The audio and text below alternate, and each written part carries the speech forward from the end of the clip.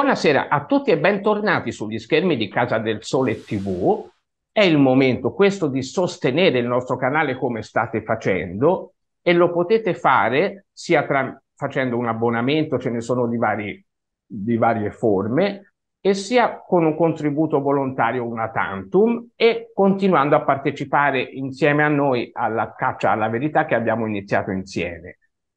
Potete sostenerci facilmente dalla nostra pagina web dove trovate tutti i dati www.casadelsole.tv barra sostienici e scegliere quello che preferite e continuare a restare insieme a noi. Siamo qui oggi a parlare di questioni attuali e dell'uso del linguaggio nell'informazione, sia nell'informazione mainstream che nell'informazione cosiddetta libera e lo facciamo con lo scrittore e filosofo e gradito ospite Michele Putrino. Buonasera Michele. Buonasera a te Jeff buonasera a tutti. Michele, eh, stiamo andando di nuovo a osservare un'altra nuova tifoseria che è quella che riguarda il clima, poi c'è quella che riguarda anche il gender fluid e tutte le varie narrative che il mainstream offre o che l'elite offre. Eh, però è anche un po' strano che anche chi si occupa di libera informazione occupi tutto il tempo, buona parte del tempo, a commentare ciò di cui parla il mainstream. Forse le questioni potrebbero essere altre e soprattutto a farlo con un linguaggio che non è né giornalistico e forse neanche tanto civile, cioè con una propaganda che è opposta a quella del mainstream, ma è comunque una propaganda perché eh, non esiste, non è vero che è più caldo del solito, siccome loro costruiscano una narrativa sulla emergenza climatica, allora bisogna dire che non esiste eh, nessuna emergenza climatica e che addirittura non fa così caldo, tutto sommato fa caldo come le altre volte. E cosa ne pensi di, di entrambe le cose, sia del linguaggio che viene usato che della questione climatica? Beh, Jeff, um, a me sembra evidente che stiamo entrando in sostanza in una nuova specie di medioevo, cioè stiamo ogni giorno abbandonando sempre di più la ragione, eh, i ragionamenti razionali, il, vedere, il cercare di vedere le cose per come sono realmente, per cadere, eh, anzi per sprofondare nel fanatismo e nell'ideologia e nel e nella tifoseria più becera, tra l'altro. Quindi io ragiono così, devo pensarla così, l'altro ragiona il contrario, è, è il cattivo, è il nemico e così via. Tanto che ormai siamo arrivati a livelli in cui eh, le persone ragionano se non sei con me, sei contro di me, se non la pensi come me, allora la pensi al contrario di me e così via. Ora, perché sta accadendo questo? Beh, a mio parere per un motivo ben preciso, e cioè tutto dovuto ai social. Ormai si vive sui social, chi ha un'azienda di comunicazione, diciamo in questo modo, vive grazie alle visualizzazioni, eh, ai punteggi eh, che vengono dati, tra virgolette, quindi mi piace, le condivisioni e così via eh, sul web. E il web, eh, i social premiano non certo chi si mette a fare un ragionamento attento, magari a lungo andare sì, io non sono così pessimista come sai sotto questo punto di vista, ma parlando in linea generale, nell'immediato, premiano eh, chi è d'impatto, chi tocca subito gli animi, gli impulsi, chi fa scatenare odio e amore immediatamente, no? Esattamente come nelle tifoserie, esattamente come nello stadio. Ecco, questa cosa sta facendo, sta spingendo sempre più rapidamente le, chi produce informazione a, appunto a non fare razio, a non, non fare un ragionamento, ma a, a, toccare solo emotività, a esaltare tifoseria e basta. Questo lo fa sia il mainstream ed è evidente a chiunque eh, abbia voglia di vedere la realtà, no? Quindi basta accendere una TV, è palese che non fanno altro che cavalcare l'emotività, fa caldo e allora subito panico, piove e subito panico, eh, fa freddo e subito panico, cioè è palese che è un tentativo continuo di cavalcare l'emotività, assolutamente ovvio. E nello stesso momento, nel mondo della cosiddetta controinformazione, si fa si, si, porta avanti la stessa procedura uguale ma contraria, cioè semplicemente si inverte la polarità. Da una, parte, dico... da una parte c'è il Ministero della Paura inventato da Albanese e dall'altra c'è il controministero della paura anche di esatto. Eh sì, perché alla fine per fare numeri io dico il contrario di quello che dice il mondo mainstream e ho tagliato la testa al toro, ho ottenuto il, eh, i miei risultati, le mie visualizzazioni, cavalcando la notizia del momento. I social ti danno visibilità perché sappiamo che funziona così e magari se qualcuno lo sa, sappiate, non, se qualcuno non è a conoscenza di questo tipo di processi social funziona in questo modo, i social danno priorità all'argomento del momento per tanti motivi. Ehm, e quindi la controinformazione cavalca la notizia del, mo- del momento, però con polari- polarità opposta. E facendo così però eh, si crea un problema, ma un problema molto grave, anzi un danno nella popolazione. Perché? Perché fino a quando si tratta soltanto, non so, di spettacolo, di, di eh, talk show base in questo modo, insomma elementare, il problema non si pone tra la popolazione, no? o comunque è minimo. Quando invece tutte e due le parti cavalcano questo stile, questo stile, questo tipo di emotività, ebbene eh, si spinge eh, la popolazione a non ragionare più con la testa e solo a tifare perché poi la parte razionale per poter funzionare, questa è una, una cosa che viene insegnata sin quantomeno dai tempi della, eh, dello stoicismo, della scuola stoica, che eh, come sapete è la, la, linea di pensiero, lo stile di vita che porto avanti cerco di divulgare il più possibile. Se tu sei in preda all'emotività, al pathos, non riesci a ragionare ed è un dato di fatto. Provate a ragionare quando siete incazzati, arrabbiati o ansiosi, non ci riuscirete mai. Per motivi eh, scientifici, cioè, c'è il cortisolo che gira nel cervello e quindi non si lucido. Esatto, che si accende la parte primordiale del cervello e si spegne quella più nuova, quella del neocortece e così via. Quindi paradossalmente quello che avevano scoperto un paio di migliaia di anni fa è assolutamente dimostrata anche in maniera scientifica, anche se, come dire, eh, basta l'esperienza di vita per accorgersi che è così. Quindi tutte queste persone, sia dalla parte del mainstream che della controinformazione, spingendo le persone a essere solo emotive, arrabbiate, ehm, irrazionali e tifose, e basta, stanno facendo regredire sempre di più la gente. Dato, io lo vedo in maniera molto evidente. Sono pienamente eh, d'accordo. Ed è molto grave, e anzi, eh, ed è bello che già col vostro canale invece avete deciso di seguire tutt'altra linea e di, man- di mantenere la barra dritta sulla linea della razionalità e del buon senso. Cosa significa tutto questo? Beh, significa che eh, innanzitutto non sempre X ha ragione e Y ha torto. Non è che tutto quello che dice il mainstream è sempre sbagliato e tutto quello che dice la controinformazione è giusto o viceversa, no? Perché ci sono quelli che invece pensano il contrario, che tutto quello che dicono quelli della controinformazione è sbagliato e il mainstream ha sempre ragione.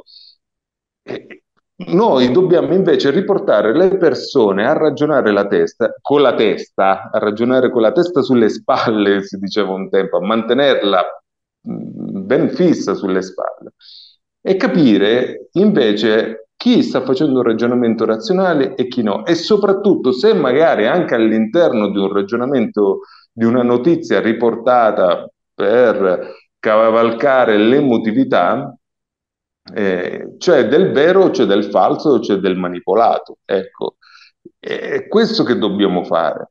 L'esempio classico è questo del clima a cui facevi riferimento tu. Eh, se noi andiamo a guardare i canali, il mainstream eh, ti dice che presto moriremo tutti, andremo, cioè sarà la tragedia la mondo, la fine del mondo. Eh, e infatti lo vediamo perché sembra veramente noi film apocalittici americani e così via. Dall'altra parte sentiamo il, il, cosiddetto mondo della controinformazione e invece ti dicono no, non è vero assolutamente niente, è tutto normale. Ora, cosa dice il buonsenso, Jeff? Il buonsenso ci dice che osservando il clima degli ultimi anni è evidente che c'è un cambiamento, un qualche cambiamento c'è, sbalzi di temperatura improvvisi, io vi voglio, magari quelli già che ecco, hanno uh, più o meno la mia età, intorno ai 40 o la tua, Jeff, più grande, si ricordano che non era all'ordine del giorno fino a eh, 20 anni fa la te- le temperature sopra i 40 gradi. Cioè e neanche era... certi eventi atmosferici, neanche certe piogge tropicali, piuttosto che varie cose. Ca- capitavano, eh? non è che io lo ricordo, magari c'era la giornata, beh, era una giornata, capitava eh, saltuariamente, insomma, era una cosa, una situazione... Eh, Diciamo la temperatura normale, io ricordo era intorno quando faceva il caldo, intorno ai 32, 33, 34, cioè erano le giornate calde. Poi poteva capitare, per carità, il picco, perché sicuramente adesso qualcuno eh, dirà io ricordo l'anno in cui il giorno, per è carità, è certo, sì, sì. certo, però qui stiamo parlando che adesso eh, all'ordine del giorno le temperature sopra, le temperature sopra i 40 gradi. E capite, qualcosa un cambiamento climatico è in corso. Questo significa che c'è l'apocalisse in corso? Molto probabilmente no, quantomeno non a breve. Vuol dire che siamo che è tutta colpa dell'uomo, molto probabilmente nemmeno quello, perché? Per il semplice motivo che se noi andiamo a guardare la storia la storia del mondo, i cicli di cambiamenti di temperatura ci sono sempre stati, sempre. E addirittura, se non ricordo male, non vorrei dire delle sciocchezze, però su questo tema perché non è mia materia, però sai, uno si informa un pochino e cerca di capire. In media ogni 10.000 anni, 10-12.000 anni, ci sono proprio dei cambiamenti climatici talmente radicali che, um, che arrivano addirittura le, le ere glaciali ricordo questa spiegazione delle correnti del Golfo in cui dicevano che, secondo questa teoria, che è abbastanza affermata adesso, eh, prima di, una, um, di, un'era glaciale il pianeta si, risu- si surriscalda, eh, si sciolgono i ghiacciai, l'acqua del mare si addolcisce perché perde no, il sale. Eh, questa cosa... E cioè si, si annacquano, cioè nel senso diventa più dolce perché giustamente i ghiacciai sono fatti di acqua dolce, il mare è di acqua salata, quindi no?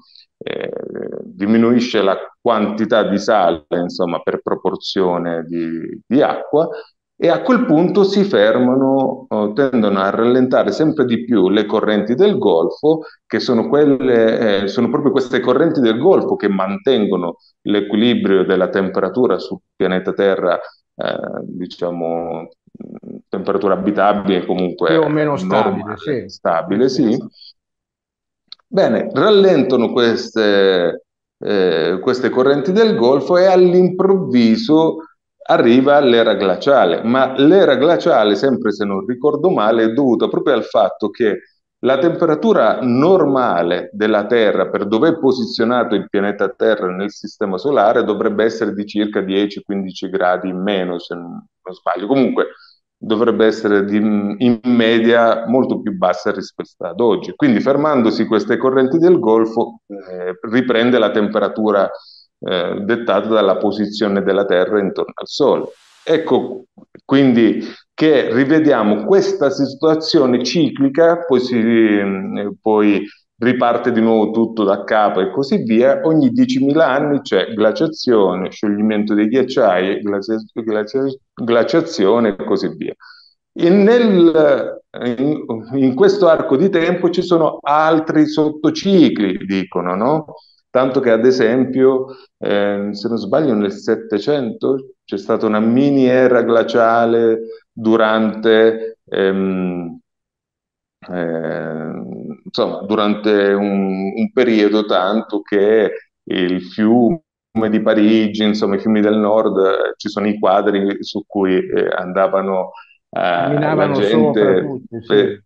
pattinava, eccetera. O nel Medioevo faceva ancora più caldo, hanno trovato eh, campi di, di, grano, per esempio, nel, ad altezze considerevoli, anche nelle Alpi, no? cosa che adesso sarebbe impossibile poter fare. Quindi questo cosa ci dice? Ci dice che, che è ovvio che ci sono dei cicli, cicli grandi e all'interno di questi cicli, cicli più piccoli, poi bisognerebbe capire se noi siamo, quello che stiamo vivendo adesso è eh, un ciclo gra- grande, insomma una fase di un ciclo grande o di un sottociclo, così via, ma questo diciamo eh, è questione di eh, argomento che riguarda gli esperti, però a noi insomma poi interessa abbastanza in maniera relativa, ma per capire tutto questo per dire che in realtà abbiamo a che fare con dei cicli naturali.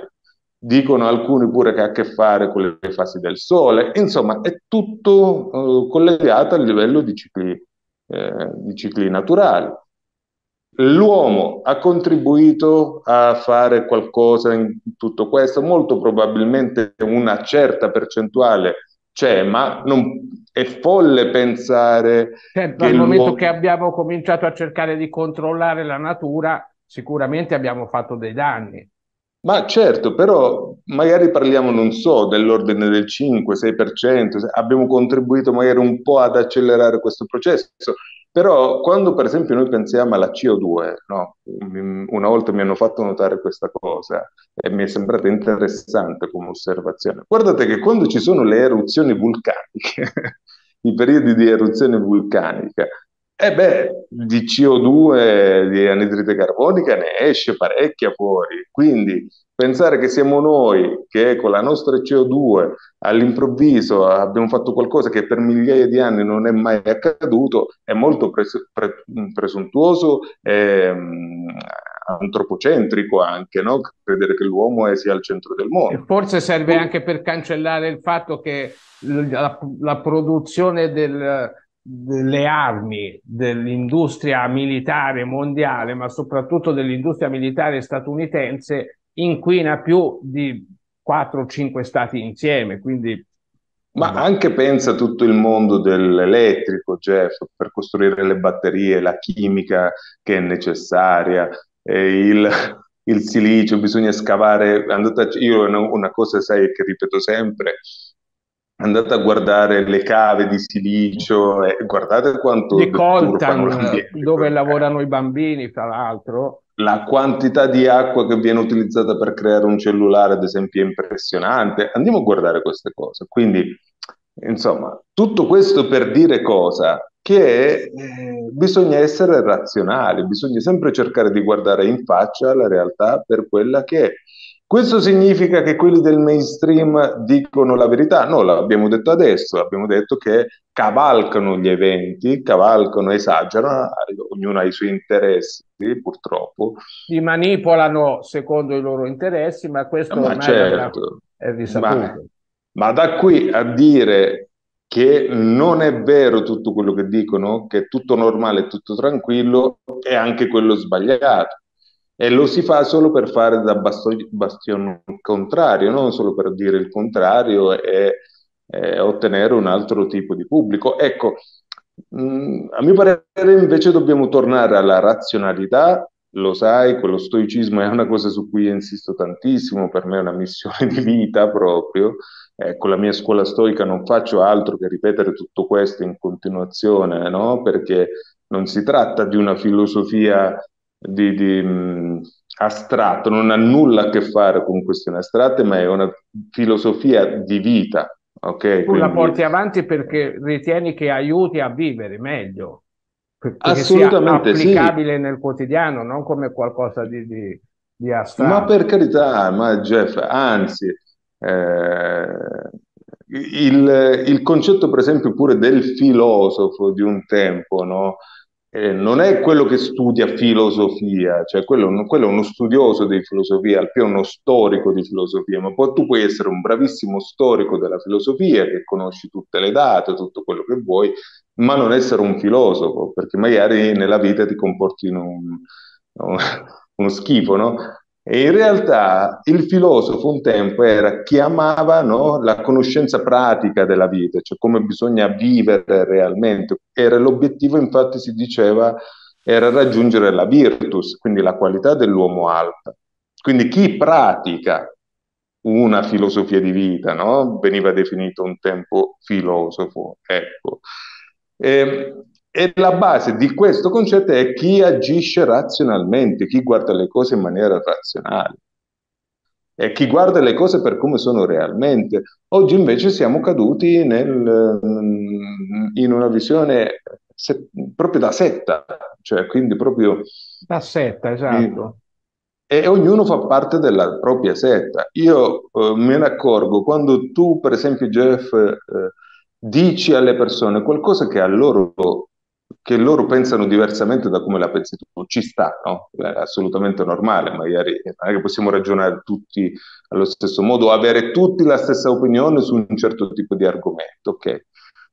Bene, la gente scatta subito e se anche prima ti apprezzava molto, basta un concetto, una parola, ti fa pezzi, ah, sei un, sei uno stronzo, non capisci basta niente. Un, cioè. Basta un errore, basta inciampare su no, ma basta, basta, semplicemente essere, eh, pensarla diversamente su un argomento. Cioè. E questo è inquietante perché queste le sette fanno così. Le persone razionali ragionano, dicono perché tu la pensi così, qual è il tuo punto di vista, secondo me è sbagliato, magari su questo guarda che forse magari ti sei informato male, ma come mai hai questa idea e così via. Questo è il ragionamento di un uomo maturo, adulto. Altrimenti facciamo come i bambini, abbiamo presente tutti i bambini, fino a quando li accontenti, eh, giochi con loro eh, e sei in linea con loro, sei la persona migliore del mondo. Basta che gli dici di no, che non ti va di giocare già ti odiano a morte. e ma siamo in queste situazioni. Non voglio creare polemica, ma abbiamo visto a settembre dell'anno scorso che questa modalità viene usata anche nella politica, da, da, da, partiti grandi, piccoli, da nuovi, vecchi. È, è incomprensibile perché appunto sette, uno crea delle sette sempre più ristrette in questo modo. Ma perché crea, eh, perché è comodo come accennavo prima, cioè, cioè, tu vai, io accendo un video, comincio a dire, ah, sono X, è uno stronzo, è cattivo, è questo e quell'altro, no? Cioè, tutto in questo modo, è, è ovvio che crea una tifoseria, la gente si gasa e stiamo a posto, cioè, abbiamo risolto il problema delle visualizzazioni. Però Se perdiamo invece... di vista i concetti, i principi e ciò che è importante. Beh, è lo stesso meccanismo delle droghe pesanti, cioè, cioè in quel momento ti gasano, ti, danno, ti, ti, fanno sentire un dio e poi ti distruggono. È la stessa cosa. È, è ovvio che ti gasa sentire quello che ti esalta, quello che ti carica odio eh, e così via, ma alla lunga ti distrugge. È esattamente una droga.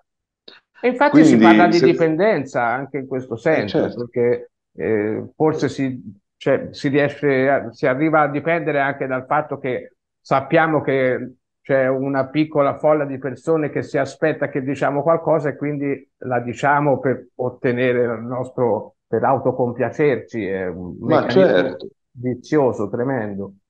E poi cosa fanno? Creano divisione. E poi dicono, ah, questi non capiscono nulla. E certo, dipende come ti sei rivolto a quella persona.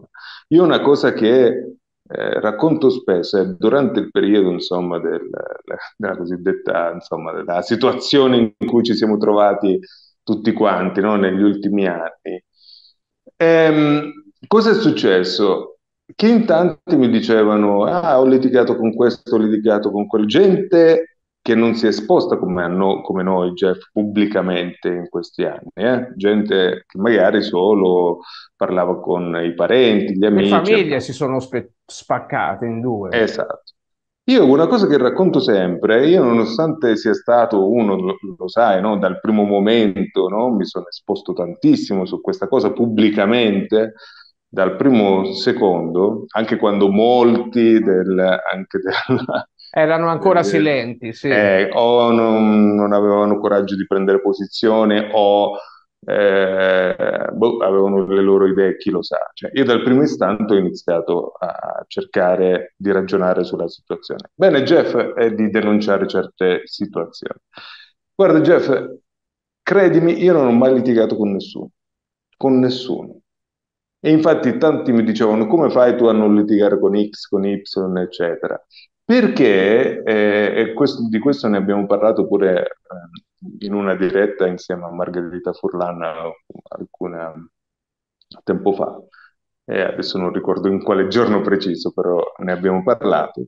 Perché? Perché il linguaggio è fondamentale, dipende tantissimo come dici le cose, non solo quello che dici, Jeff, il tono di voce, il modo di porti, il rispetto che devi avere verso l'altra persona. Se io già, già quando parlo con una persona um, creo nella mia testa l'idea che è uno stupido, uno che non capisce nulla, eccetera, e beh, creerò un muro immediatamente, senza rendermene conto, oppure se insisto con certe parole, con certi termini. In realtà bisogna ragionare e, as- imparare a comunicare in maniera adeguata, aspettando anche il momento giusto, cercando di dire la parola giusta al momento giusto, cosa che è sparita completamente. Un tempo si prestava attenzio- molta attenzione a questo, oggi non più. Quindi sono tutte cose che noi dobbiamo riprendere velocemente con urgenza, cioè, con urgenza. Infatti parliamo tante volte, lo sai, di cercare di creare dei corsi per insegnare queste cose alle persone, perché non basta la buona volontà, non basta essere impegnati, bisogna imparare, rieducarsi da adulti, rieducarsi alla ragione, rieducarsi al saper vedere le cose come sono realmente, a non lasciarsi spaventare e a saper comunicare in maniera adeguata con le persone. E avere non... l'umiltà anche di riconoscere che in certe fasi siamo stati indottrinati anche noi stessi da bambini, certo, da, da, certo. da, studenti, eccetera. Certo. Ma vedi, queste cose, infatti, nello stoicismo, la prima cosa che viene eh, insegnata sempre no, all'allievo, diciamo così, è impara a dominare le tue emozioni, che non significa cosa importantissima e sciocchezza che purtroppo tante volte viene divulgata anche dai, eh, da docenti universitari o dai libri eh, di, di, filosofia, no? Ti dicono, ah, gli stoici, il comportamento stoico è quello che distrugge l'emotività. Non è così, non, pu- non puoi distruggere l'emotività, sei un essere umano significa imparare a controllarle, a controllare. Imparare a viverla dentro noi stessi. A gestirle, tanto che era talmente chiaro come concetto, Jeff, che eh, gli stoici utilizzavano la parola pathos, cioè patire gli eventi esterni. Tu non devi cioè, lasciarsi in sostanza, lasciarsi condizionare da ciò che, è, che avviene nel mondo esterno. Questo non significa eliminare le emozioni, ma eh, significa non lasciarsi provocare dal mondo esterno in sostanza, devi essere tu a decidere eh, quando, come, dove agire eh, e magari evidentemente eh, accendere le emozioni in un determinato modo e controllarlo, un po' come controllare un fuoco, no? Ecco, saperlo gestire, perché se lo lasci andare distrugge tutto. Questo è il concetto. E quindi è la base, perché se tu non impari a gestire le tue emozioni, a tenerle ferme quando, quando devi tenerle sotto controllo, spegni la razza, spegni la ragione e diventi e cadi in uno stato di bestialità. Gli antichi chiamavano gli uomini che vivevano di sole emotività i bruti e infatti siamo caduti in un'era di bruti. Ed è evidente, e quindi, sai, anche qui questo, tutto questo discorso che si è sempre fatto di esaltare le emozioni, quello che è avvenuto negli ultimi decenni, ha, ha fatto danni pesanti, lo stiamo vedendo oggi. Cosa che viene cavalcata sia dal mondo della cosiddetta controinformazione, eh, ovviamente dal mondo del mainstream. Deve, noi siamo esseri umani, essere umani significa essere razionali innanzitutto, usare la testa, ok? Quella è la parte principale altrimenti ci disumanizziamo ed è esattamente quello che sta avvenendo e non a caso il potere, quando vuole uh, dominare, fa spegnere la ragione, cioè spinge gli esseri umani a spegnere la ragione e a vivere di emotività, di cavalcare l'emotività dove l'emotività più estrema è la paura. Quindi restiamo umani anche davanti alla propaganda e alle narrative delle elite e restiamo umani anche nonostante il caldo, direi.